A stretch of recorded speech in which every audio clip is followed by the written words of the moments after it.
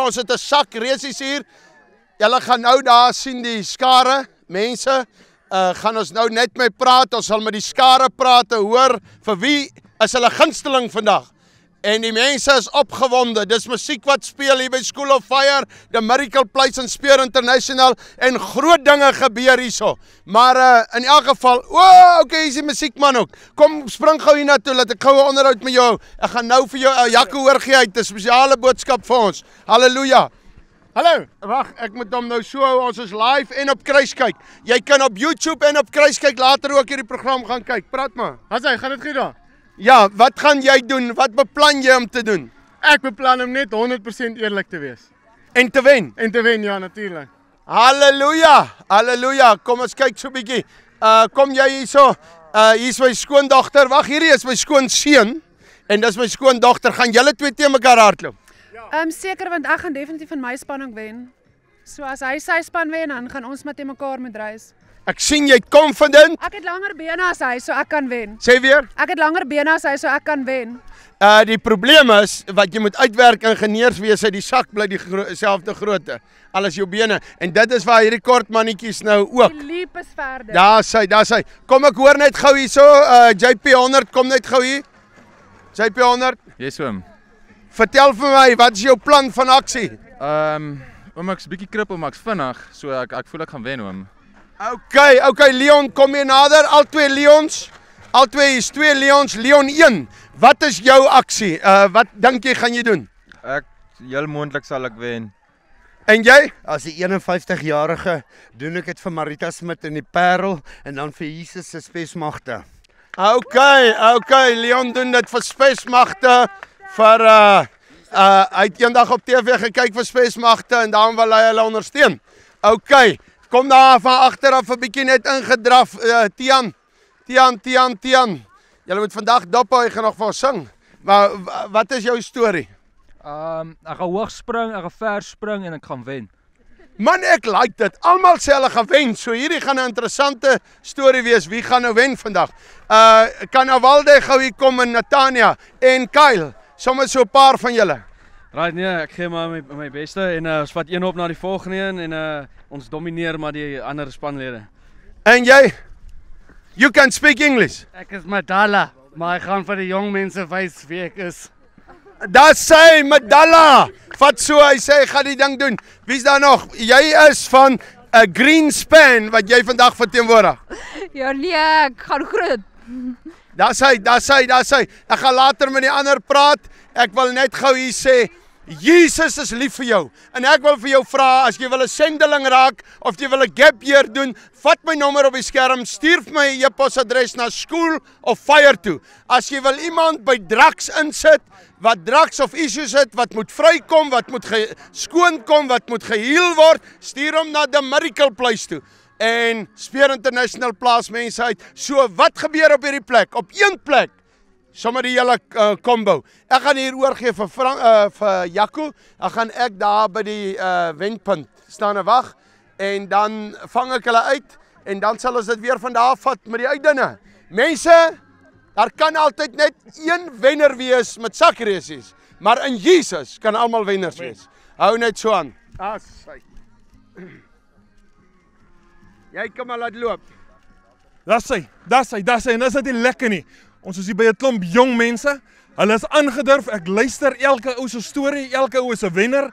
Party van hulle het verskonings. Maar as ons hierdie sakke so kyk, ons sien verskillende kleursakke. Ons sien sakke met verskillende name. Ons sien hulle intensies is om te wen. Maar as ons partykeer in die lewe kyk, is ons intensies nie ook om altyd voor te kom nie. Maar ons het 'n ding wat ons hinder. Ons het 'n ding wat in die pad is. Dit maak nie saak of dit 'n groen sak is nie. Dit maak nie saak of dit 'n wit sak is nie. Dit maak nie saak of dit 'n sak van lê henne is nie. Die punt is, ons elkeen het 'n ding wat ons terughou. En terwyl ek hulle so in die sakke sien staan, dan dink ek sommer vinnig in Joshua. Joshua 1 vers 3. Hy sê daar was sy voetspore grond raak. Daar wen hy grondgebied vir God. Maar nou kom ons met die sakresies. Hoe groter jou skoene is, hoe meer jy vir God kan doen, hoe kleiner raak die sak. So met ander woorde, die vyand wil kom verhinder. Die vyand wil altyd kom vernietig en die vyand wil altyd 'n ding in ons spoor stop. Maar as ons kom Maak nie saak hoe hoog ons liep is nie, maak nie saak hoe ver ons spring nie, maak nie saak of ons hardloop nie, maak nie saak of ons klein triekies gebruik nie. Maar as ons by Jesus kom, as hy ons skoon maak, as hy alles van ons af wegvat wat ons gebind het, dan haal ons die een been uit en dan die ander been. En dan het ons twee voete om vry te hardloop. Ons het voete om grondgebied vir God te wen. Nou maar toe ek is opgewonde oor hierdie reusies, hierdie ou is so entoesias. Wie van julle gaan wen? Wie gaan tweede kom? Almal wil wen. Nou maar toe. Ek wil net gou hierso, Sorita. Hierdie drie is gereed. Hulle gaan mekaar die stryd aan sê. Ek wil hê jy moet kies. Wie gaan eerste wees, wie gaan tweede wees, wie gaan derde wees? Hanu gaan eerste wees. JP 100 of dit toe gaan tweede wees en Fransjo gaan laaste wees. Oh! Hylen. Uh, As wag wag wag wag. ek dink ek dink Frans gaan die die die jong manne 'n ding wys hierso. Tweede, Hanu. Derde JP 100. Waar is JR? JR nie hier vir nie? O, oh, ons aan die ene kant uitgesin, maar ons gaan nou weer verder met julle praat. Is julle gereed? OK. Hier kom die twist. Hier kom die twist. Julle gaan 16 tree spring. Julle gaan doodstop, 2 tree terugspring. 3 tree links en dan voluit vorentoe. Het julle hom? 16 tree vorentoe, 2 terug, 3 links en dan die een wat klaar is maklik. Op julle merke. Gereed. Wag vir die vletjie, wag vir die vletjie. Gaan!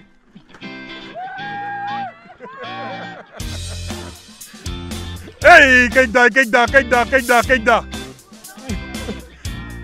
Ek weet nie of hy 'n cowboy is nie. En of hy maar net kroek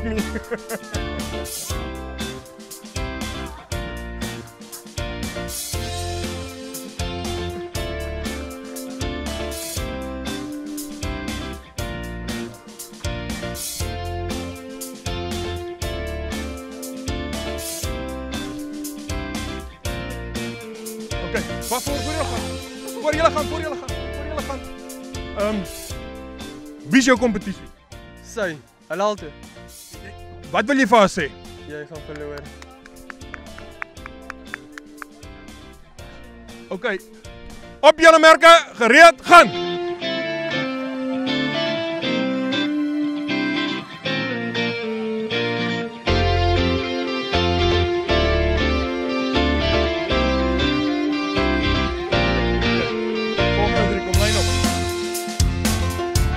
Is julle gereed?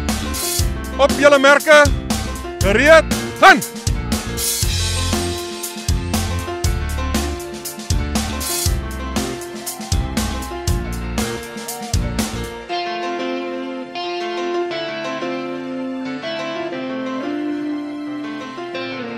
Dis ons seer hom man, ons seer hom. Daar's die verloorde, sien hoe jy val hier, jy opstaan.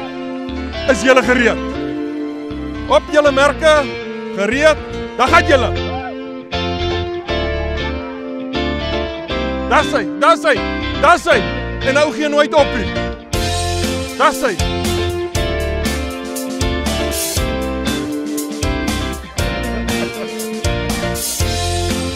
Die volgende twee kan maar opkom. As julle 3, as julle 3, as julle 3. Is julle gereed? Op julle merke. Gereed. Gaan.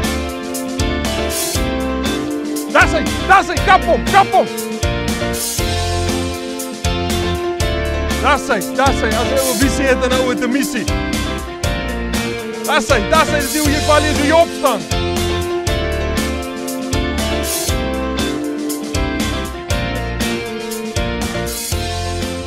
Nou het ons 'n finale uitslag.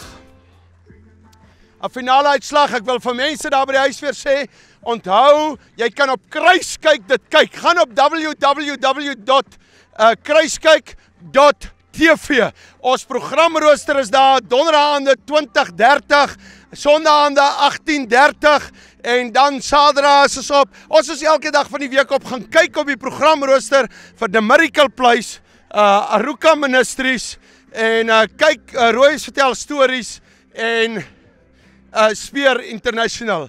Gaan kyk dit asseblief ook weer. Maar okay, ek gaan saam met hierdie klomp draf, maar uh sonder 'n sak. Julle moet dophou want ons het volgende week op kruiskyk het ons eier kompetisie. Maar vandag op live het ons eier kompetisie hier. So hou die page dop, laat vertel jou vriende, hulle moet kyk daar by Rooi Strauss se page.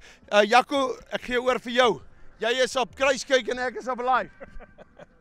As hy prys die Here. Is hy. Sorry.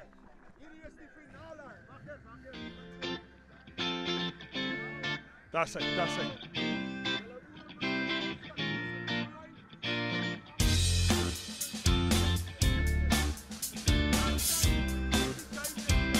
En 'n motiveringspraatjie.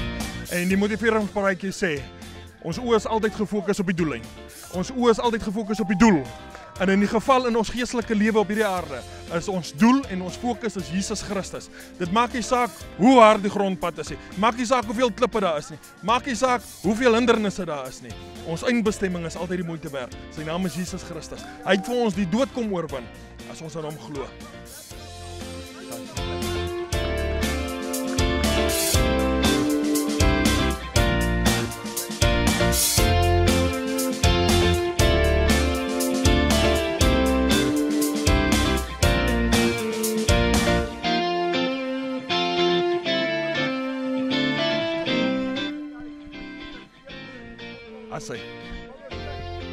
Soos jy soos jy sien hoe hulle op op hulle merke staan, wil ek weet, hoe lyk jou gebedslewe? Hoe lyk jou Bybelleeslewe? Hoe lyk jou verhouding met Jesus? Hoe lyk jou binnekamer? Struikel ons partykeer, val ons partykeer, raak ons bietjie afvallig, raak ons partykeer bietjie moeg, raak ons bietjie te neergedruk. Maar staan ons op. Weet ons waar ons krag en ons bron vanaf is. My name is Johan de Beer and our company's name is Hydraulic Coop. At Hydraulic Group, we manufacture hydraulic hoses and sell hydraulic fittings and adapters. We manufacture high temp hose, Teflon hose, one wire, two wire, four wire, R15 hose. We also stock a full range of oils, engine oils, hydraulic oils. We do do standby after business hours and we do have a mobile unit on standby. Konstante hoë bloedsuikervlakke is die hoofoorsaak van tipe 2 diabetes, insulienweerstandigheid en oorgewig. 'n Lae GI-dieet kan help om bloedsuikervlakke te beheer, eetlus te demp en diabeteskomplikasies te voorkom. Manna bloedsuikerbeheertablette help om die GI van die voedsel wat jy eet met soveel as 43% te verlaag en daarom help dit om bloedsuikervlakke te beheer. Die produk kan saam met enige dieet gebruik word en is beskikbaar by alle apteke. Besoek mannaplus.co.za vir meer inligting. Uh, My name is Marlene de Beer. My company's name is Hena Truck Trailer Spares. We our services that we supply is trailer parts on all um, trailers. Um, we supply um, all the side tippers and um, all the flat deck trailers, all the accessories on the horses. Uh, we are situated in Bethel, um, 21 Park Lawn, um, Bethel. Voor ek hier verduidelik die wenners. Daar is twee beoordelings na die dood. Die een is die wit troon oordeel waarvan ons lees in Openbaring 20. En dit is die sondaars wat geweier het om te bekeer of gebekeer het en daarna God verag het. Hulle gaan voor God se troon staan om geoordeel te word en daarna die helse vlamme tegemoet te gaan. En dan is daar 'n ander oordeel. Dit is die regterstoel van God, word genoem die Burma. Die Burma. In die Olimpiese spele noem hulle dit nou nog die Burma. Jy kom staan daar om te na jou werk het gekyk te word. Jy het God gedien, maar jy word beloon. Daar word krone uitgedeel. En dit is wat gaan gebeur. God Hierdie is God se kinders wat voor hom verskyn. Nie een gaan hel toe nie. Hulle word beloon.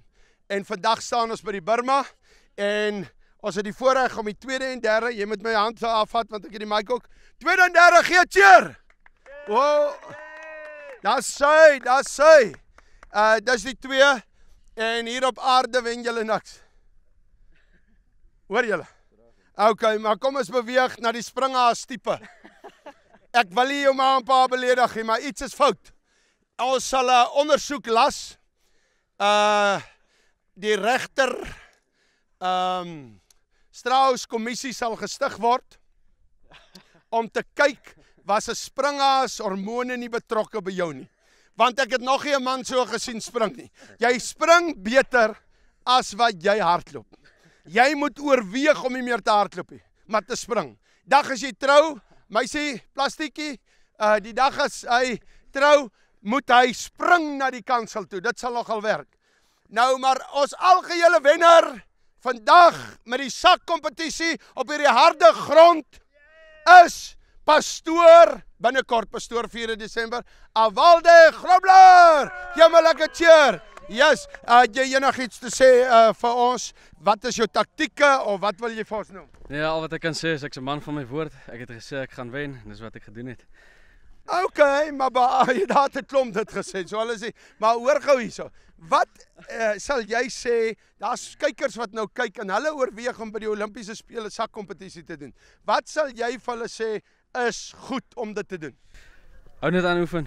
Oefen, oefen, oefen. Dis al, dis al wat dit beter kan maak. Hoeveel sakke het jy al opgespring voordat jy vandag nou hier gekom het met jou groot kompetisie? Twee. Twee sakke is die baba sak toe jy babatjie was so jy opgespring het en ja nee.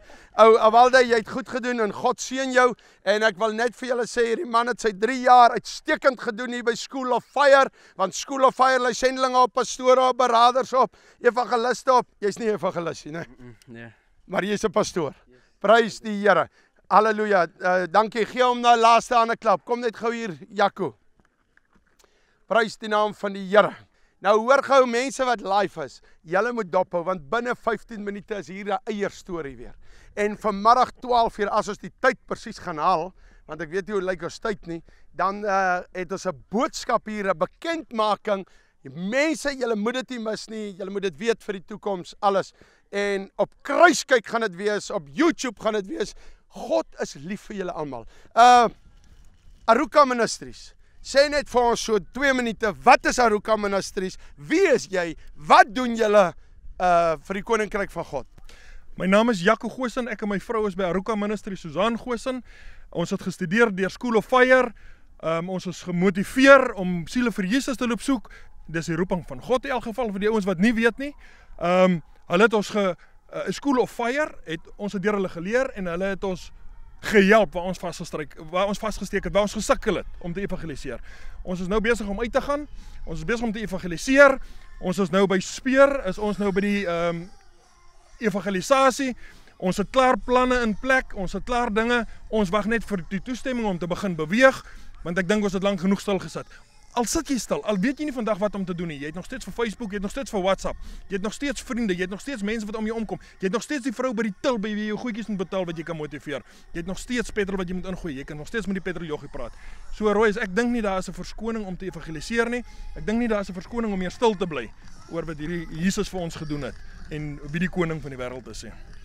Ek wil nou net uh vir hom sê oor die stil sit, is nie stil sit wat School of Fire hulle terughou of iemand hier stil sit oor lockdown en ons bid dat hierdie jy weet daar's baie mense, hulle is lank in die evangelie, maar hulle sal so like as lockdown aanhou want hulle het nog net altyd stil gesit en dit is 'n beskuldiging vir jou. Vandag vermaan ek jou, ek het volgende weer gelees waar Paulus en Petrus mense vermaan en ek vermaan jou as jy sê jy werk vir God, maar jy sit agteroor en jy vat 'n vakansie, dan is jy met 'n verkeerde ding besig. As jy vir God werk, klim in die boot, loop op die water. Partykeer sink jy, jy vat Jesus aan, beweeg aan. Moenie dink jy het 'n vakansiejobbie gekry as jy vir God begine werkie. Baie mense dink so en hulle kyk hoe min ure hulle kan vir God werk. Beginne vir God werk. Die arbeider is sy oes werd. Die Here is lief vir julle. God gee hom vir julle.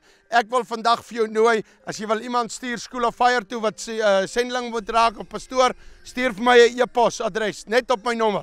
As jy iemand moet stuur na uh, the Miracle Place toe vir drugs, uh of jy kom woon the Miracle Place se dienste by vir jy kanker, jy depressie of iets vir 'n dag of of uh kan jy kom of jy kan vir 3 maande kom of vir 'n jaar kom.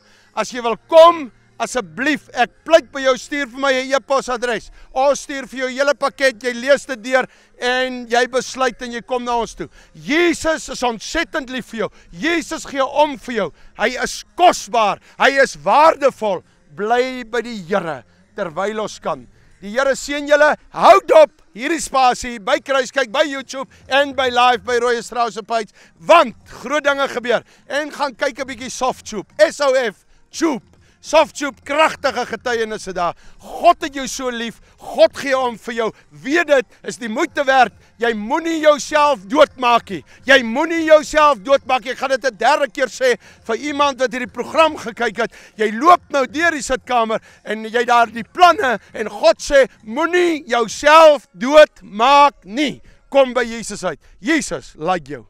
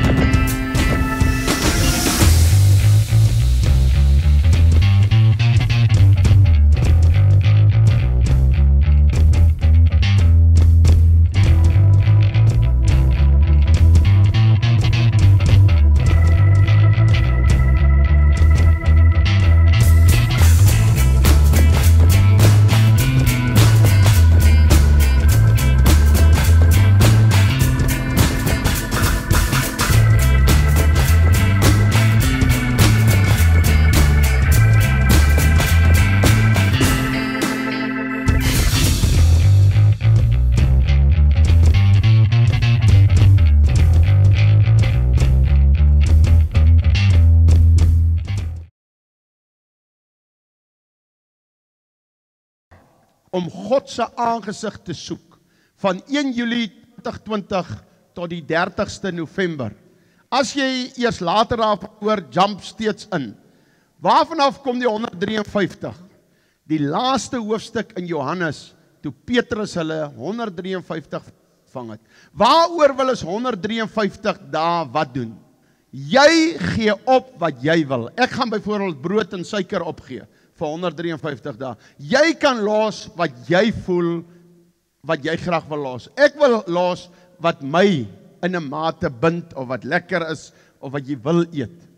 Jy kan jou keuse maak. Miskien los jy koffie vir 153 dae, miskien brood, miskien vleis. Jy besluit. Hoekom doen ons dit? Eerstens dat sendelinge sal opstaan wat die oes is groot en die arbeiders is min. Tweedens dat hierdie sendelinge plek sal kry, die regte plek om geplaas te word. En dan die derde ding is dat hierdie sendelinge voorsiening sal kry. En die vierde ding is jy bid persoonlik wat sukkel jy mee in jou lewe? Ek wil my gebedslewe byvoorbeeld beter kry. En daarom gaan ek bid my vierde punt om my gebedslewe beter te kry nog met God. So 1 Julie begin ons tot 30 November En ons doen dit vir Jesus Christus. As jy na 1 Julie dit hoor, spring steeds in. Dit gaan oor jou hart en dit gaan nie oor 'n wet nie. God seën, raak betrokke.